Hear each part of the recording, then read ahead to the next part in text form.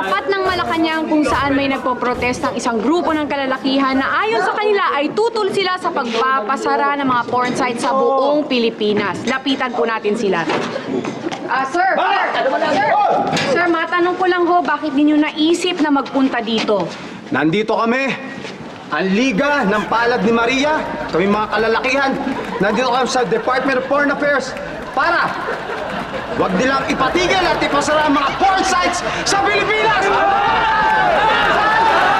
Protesta kami ngayon kasi hindi makatarungan yung pinapasara nila yung mga porn sites! Ah, Mali Maari po ba naming malaman ang dahilan kung bakit ayaw ninyong ipasara ang mga porn sites sa buong Pilipinas? Ba, ba, ba, ba, ba, ba. Maraming kadahilanan. Importante sa aming mga kalalakihan ng porn sites. Bakit? Hindi tulad ng aming mga asawa, nandyan, available sila 24-7. Hindi sila dahil pagod, maraming lalaban, maraming gagawin, etc. etc. Itong mga to madali kausap, isang click lang, okay na kami! Tsaka hindi magastos, 1,999 lang. Hindi katulad ng mga asawa namin, mahilig mag-shopping, di ba? At, at, at, at, at higit sa lahat, hindi sila nangaaway, hindi mga bungangera!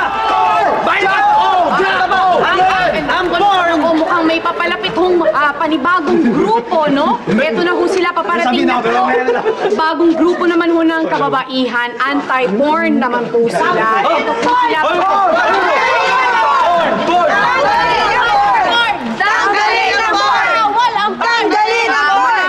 Po anti-porn po kayo?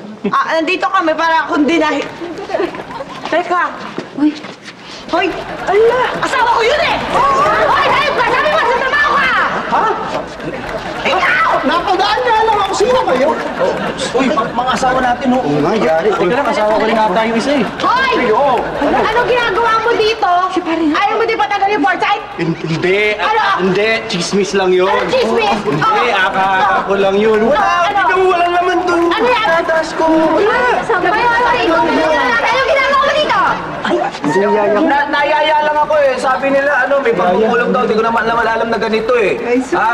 Nasabi sa akin, magbibilyan lang eh. Diba? No. Kaya nga kami bigan to, oh. oh. Hoy! Ikaw, umuwi ka na! Hindi, ano, ah, ah, ah, hindi. Oo nga, buwi na tayo. Marami pa akong lalaban. Oo, na rin. Ako rin. Ah, halika na. Halika na. Halika na. Halika